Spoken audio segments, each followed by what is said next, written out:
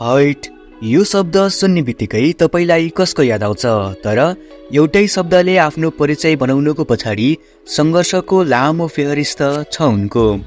उनी घरको एक्लो छोरो बुबा आमा दुवै निरीक्षर घरको जिम्मेवारीले एसएलसी पछि पढाइलाई अघि बढाउन सकेनन्। दुःख के हो सङ्घर्ष के हो उनले त्यो बेला नमिठोसँग बुझे जति बेला आमालाई पेट दुख्ने समस्या भयो। तौल घटेर बत्तिस तेत्तिस केजी पुग्यो। घरमै उपचार गर्ने सिप नभएपछि उनी आमालाई छदेखि सात घन्टाको बाटो पिठ्यौमा बोकेर गाडी चढ्ने ठाउँसम्म ल्याए अनि काठमाडौँको गाडी चढाए। यहाँ ल्याएर उपचार त गर्ने तर पैसा कहाँबाट जुटाउने? उनले इटाभट्टामा काम सुरु गरे। थाहा भयो कि आमालाई पाठेघरको क्यान्सर भएको रहेछ। काम गर्ने ठाउँमा दस हजार पेस्की लिएर उनले आमालाई अस्पतालमा भर्ना गरे। तर त्यतिले के भोग्नु? कसो कसो ऋण गरेर र केही निशुल्क मिलाएर आमाको उपचार गरे। तर आमामा फेरि क्षयरोग देखियो।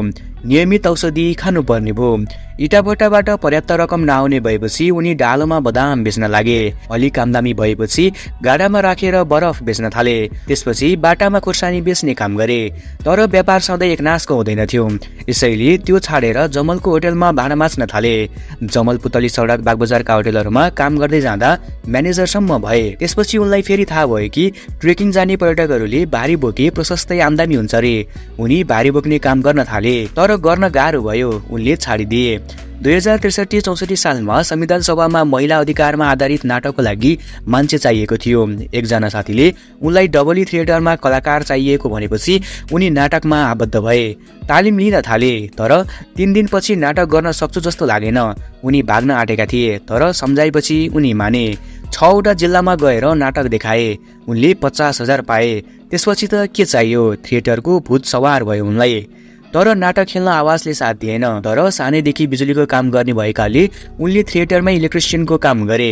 चलचित्र छाएको हुने बेला सेटमा जान्थे र स्पोर्ट बोयको काम गर्थे। यस्तैमा कबड्डी फिल्ममा उनले अभिनय पनि गर्ने र स्पोर्ट बोयको काम पनि गर्ने गरी अनुबन्धित भए।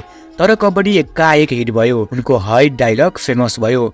उनलाई अहिले धेरैले नामले भन्दा पनि त्यही डायलगले चिन्ने गर्दछन् र अभिनयको यात्रा गर्दा गर्दै आज उहाँ यहाँसम्म आउन सफल हुनुभएको छ। साथीहरू तपाईँहरूलाई पनि हाइट बुद्धि तामाङको यो जीवन कहानी कस्तो लाग्यो? भिडियो मन पर्यो भने हजुरहरूले एउटा लाइक र कमेन्ट पनि गरिदिनु होला हवस् त धन्यवाद। Thank you so much for watching this video